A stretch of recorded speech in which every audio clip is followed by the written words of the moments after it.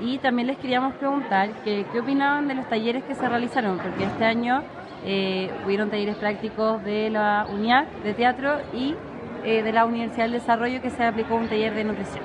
Sí, buenísimo. O sea, yo, como les dije, quiero estudiar teatro fui al taller de la UNIAC y me gustó mucho. El profe era muy simpático, nos enseñaba como nos enseñaba mediante juegos cómo hacer un actor y eso fue muy bacán. Y también súper bueno que haya talleres de nutrición porque se aprende como haciéndolo. no sé, eso. ¿Algo más que decirnos?